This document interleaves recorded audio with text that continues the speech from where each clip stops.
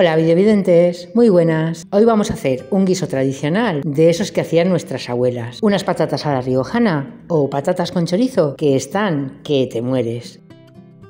Y vamos a necesitar para cuatro personas, cuatro patatas grandecitas, una cebolla, cuatro chorizos frescos de los de guisar, un pimiento verde italiano, unas hojitas de laurel, tres o cuatro ajos, sal, pimentón, aceite de oliva y dos pimientos choriceros estos son riojanos, los traje de Ezcaray, que estuve pasando unos días este verano. Pero si no tenéis riojanos, podéis hacerlos con los que tengáis. Aquí, por ejemplo, en la comunidad valenciana lo típico son las ñoras, pues también nos valdrían.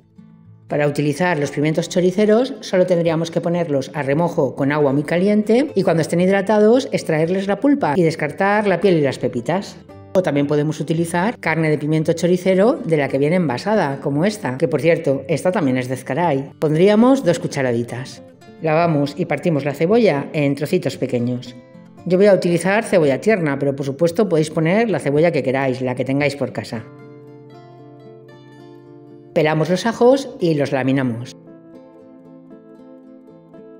Lavamos el pimiento verde y también lo partimos a trocitos pequeños. Ponemos los ajos en una cazuela con un chorrito de aceite de oliva, así más o menos que cubra el fondo. Y nos la llevamos al fuego.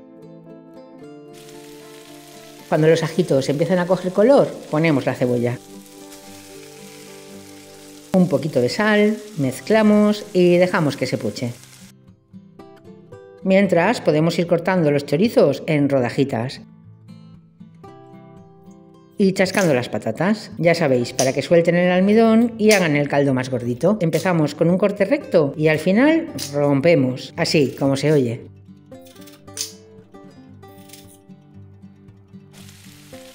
Cuando tengamos la cebolla transparente y blandita, añadimos el pimiento verde. Otro poquito de sal, vueltecita y esperamos que se haga. Y cuando esté blandito, ponemos las patatas. Salamos y añadimos las hojas de laurel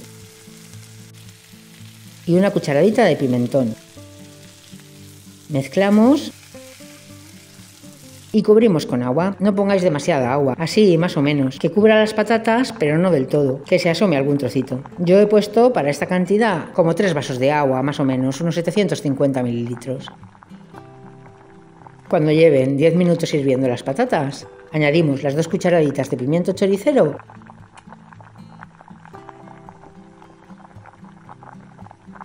y los trocitos de chorizo y dejamos hirviendo con el fuego bajito durante 15 minutos aproximadamente. Para moverlo y que no se nos deshagan las patatas ni los chorizos, mejor hacerlo así, dándole toquecitos a la cazuela sin poner la cuchara. Y cuando pinchando con un tenedor las patatas estén muy blanditas, ya lo tendremos.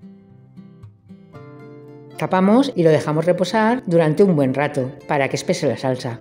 Incluso estará mucho más bueno si lo hacemos de un día para otro.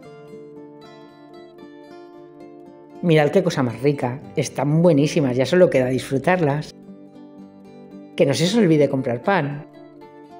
Yo soy Esther y ha sido un placer compartir esta receta contigo. Y ya sabes, si te ha gustado el vídeo, déjame un me gusta y si te ha gustado un poquitín más, suscríbete. Muchas gracias. Adiós, hasta el vídeo que viene.